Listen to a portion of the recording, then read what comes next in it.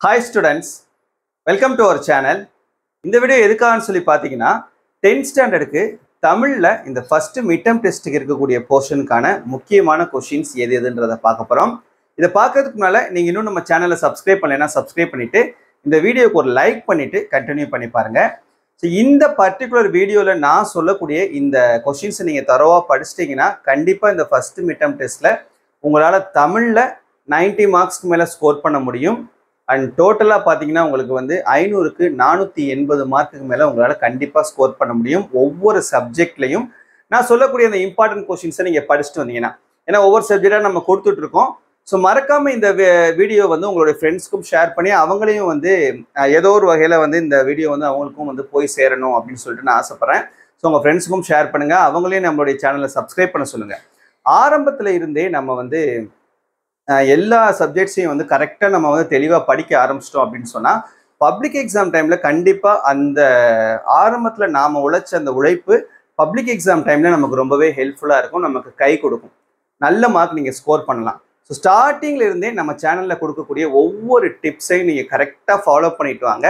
கண்டிப்பாக நீங்கள் நினைக்கக்கூடிய மார்க்கை விட உங்களால் பப்ளிக் எக்ஸாமில் அச்சீவ் பண்ண முடியும். அதுக்கான கேரண்டி அண்ட் அஷூரன்ஸ் நான் உங்களுக்கு கொடுக்குறேன். ஓகேவா சரி ஓகே இப்போ இந்த தமிழில் இருக்கக்கூடிய முக்கியமான கேள்விகள் எது எதுன்றதை நான் உங்களுக்கு சொல்கிறேன் போர்ஷன் பார்த்தீங்கன்னா முதல் மூணு இயல் மொத்தம் இருக்கக்கூடிய ஒன்பது இயல்ல முதல் மூணு இயல் உங்களுக்கு இந்த ஃபர்ஸ்ட் மிட்டம் டெஸ்ட் முதல் இடைப்பருவ தேர்வுக்கு கேட்பாங்க.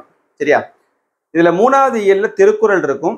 திருக்குறள் பொறுத்த வரைக்கும் நம்ம வந்து எல்லாத்தையுமே படிச்சுக்கணும். அதுல வந்து நம்ம எது முக்கியம் அப்படின்றது சொல்ல முடியாது. ஆனால் திருக்குறள்ல இருந்து அதிகமான கேள்விகள் வந்து கேட்பாங்க. ஏன்னா கோர்ட்னுடைய ஆர்டரே வந்து என்னென்னா டென்த்து லெவன்த்து டுவெல்த்துன்னு கிடையாது. எல்லா கிளாஸஸ்லேயுமே தமிழில் திருக்குறளுக்கு அதிகமான மதிப்பெண்கள் கொடுத்து கேள்விகள் வந்து கேட்கணும்னு சொல்லிட்டு கோர்ட்டுடைய ஆர்டர். ஸோ அதனால் வந்து திருக்குறள் வந்து அதிகமான கொஷின்ஸ் வரும். அதனால் திருக்குறள் வந்து எல்லா கொஷினுமே நல்லா படிச்சுக்கிறங்க இது போக மற்ற மூணு இயலில் இருக்கக்கூடிய உரைநடை செய்யுள் இலக்கண பகுதிகளில் எந்தெந்த கேள்விகள்லாம் முக்கியமானதுன்னு சொல்லிட்டு நான் உங்களுக்கு சொல்கிறேன் ஸோ இப்போ பார்த்தீங்கன்னா குருவினாவில் ஒரு ஏழு கொஷின் இந்த ஏழு டூ மார்க் கொஷின் படிச்சிட்டிங்கன்னா குருவினா கண்டிப்பாக நீங்கள் அட்டன் பண்ணிடலாம். என்ன கொஷின் வேங்கை என்பதை தொடர்மொழியாகவும் பொதுமொழியாகவும் வேறுபடுத்தி காட்டுக. அப்புறம் மண்ணும் சிலம்பே மணிமே கலைவடிவே முன்னும் நினைவால் முடிதால வாழ்த்துவமே அப்படின்ற இந்த கொஸ்டின் இதுக்கப்புறம் கொஞ்சம் இருக்கும் அது பார்த்துக்கோங்க. அப்புறம் தற்கால உரைநடையில் சிலேடை அமையும் நயத்திற்கு ஓர் எடுத்துக்காட்டு தருக. அப்புறம் வசன கவிதை குறிப்பு வரைக. மா அல் பொருளும் இலக்கண குறிப்பும் தருக. அப்புறம் விருந்தினரை மகிழ்வித்து கூறும் முகமன் சொற்களை எழுதுக. அப்புறம் இரடி பொம்மல் பெருகுவீர். இத்தொடர் உணர்த்தும் பொருளை எழுதுக. இந்த ஏழு குருவினாவையும் தரோவா படிச்சுக்கிறங்க போதுமானது. நான் சொல்றது ஃபர்ஸ்ட் மிட்டமுக்கு மட்டும் கிடையாது.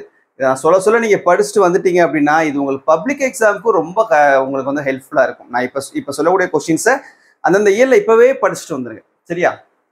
அடுத்து சிறுவினாவில் பார்த்தீங்கன்னா ஒரு அஞ்சே அஞ்சு சிறுவினா மட்டும் நல்ல தரவா படிச்சுருங்க ஃபர்ஸ்ட் கொஸ்டின் பார்த்தீங்கன்னா கூத்தனை கூத்தன் ஆற்றுப்படுத்தலை கூத்தராற்றுப்படை எவ்வாறு காட்டுகிறது? அப்புறம் கண்ணே கண்ணுரங்கு காலையிலே நீ எழும்புன்னு சொல்லிட்டு ஒரு கொஸ்டின் இருக்கும்.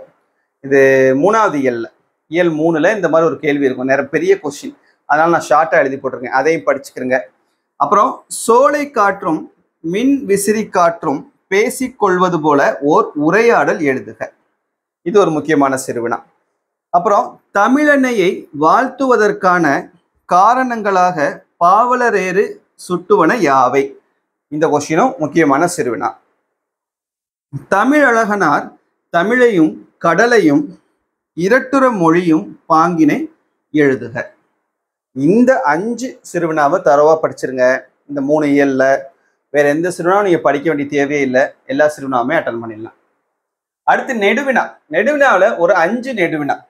எல்லாமே ஷார்ட்டாக எழுதி போட்டிருக்கேன். நீங்கள் அந்த கொஷினை ஸ்டார்டிங் மட்டும் நீங்கள் பார்த்துக்கோங்க.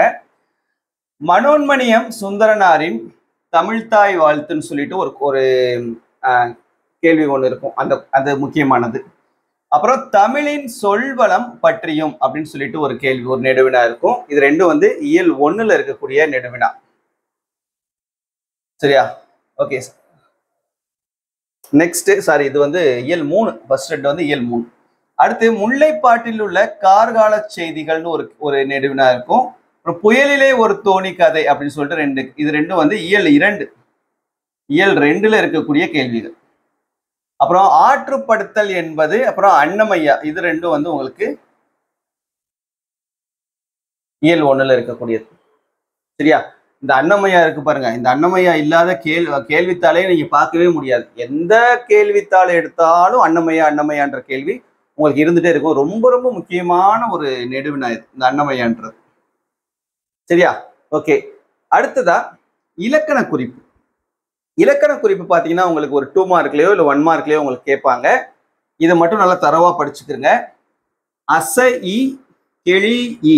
இந்த ஈல முடிஞ்சதுன்னா அது சொல்லிசை அளபடை. சரியா? ஈல முடிஞ்சதுன்னா அது சொல்லிசை அளபடை. அதுக்கப்புறம் நன்மொழி மூதூர். நன்மொழி மூதூர். இது ரெண்டும் உங்களுக்கு ஆஹ், தொகை சரியா? இது எப்படி இது வந்து நன்மை கூட்டல் அப்படின்னு பிரிப்போம். ஸோ இது வந்து உங்களுக்கு எண்ணிக்கையில வரக்கூடியது. ஸோ அதனால நமக்கு அதை பண்புத்தொகை அப்படின்னு சொல்லுவோம். அடுத்து இந்த அல் சவுண்டில் முடியக்கூடியதை தொழிற்பெயர்னு சொல்லுவோம். அல் சவுண்டில். வியத்தல் நோக்கல் இருத்தல் வழங்கல் எழுதல் உரைத்தல் செப்பல் எல்லாமே பார்த்தீங்கன்னா இந்த அல்லு அல்லு அல்லுன்னு அல் சவுண்ட்ல முடிஞ்சிருக்கும். ஸோ அதனால இது வந்து நம்ம தொழிற்பெயர் அப்படின்னு சொல்லுவோம் ஸோ அல் சவுண்ட் வந்தாவே தொழிற்பெயர்னு நம்ம முடிவு பண்ணிக்க வேண்டியது. அடுத்தது வினைத்தொகை. இது இந்த உருதுயர் அப்படின்றது நமக்கு வினைத்தொகை. அடுத்து உரிச்சொற்றொடர் வந்து இந்த தடக்கை அப்படின்ற வார்த்தை. இந்த தட அப்படின்னு வந்ததுன்னா அது உரிச்சொற்றொடர். சரியா? சால நவ சால தவ நனி உரு தட இந்த மாதிரி ஒரு உரிச்சொற்று இந்த வா- இந்த வார்த்தைகள் வார்த்தைகள் ஆரம்பிக்கக்கூடியதை நம்ம உரிச்சொற்றோடன்னு சொல்லுவோம். ஸோ இதில் ஒன்றே ஒன்று தான் இருக்குது. தட மட்டும். தடன்னு வந்தால் உரிச்சொற்றோட. அதுக்கப்புறம் கை தொழுது. கை தொழுது. கைன்னு வந்துருச்சுன்னா மூன்றாம் வேற்றுமை தொகைன்னு நாம வச்சுக்கோங்க. மூன்றாம் வேற்றுமை தொகை. சரியா? இந்த இலக்கண குறிப்பு மட்டும் தரவா பார்த்துக்கிறோங்க அடுத்து கலைச்சொல்.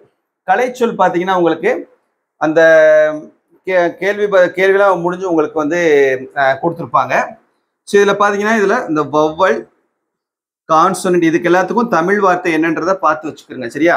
புக்கிலே இருக்கு. புக்கில் தான் கேட்பாங்க. Discussion storm conversation tempest tornado classical literature epic literature devotional literature ancient literature modern literature இது எல்லாமே வந்து கலைச்சொற்கள். இது எல்லாத்துக்கும் தமிழ் எழு- வார்த்தைகள் என்னன்றதை கரெக்டாக பார்த்து வச்சுக்கோங்க. ஸ்பெல்லிங்கோட பார்த்து வச்சுக்கோங்க.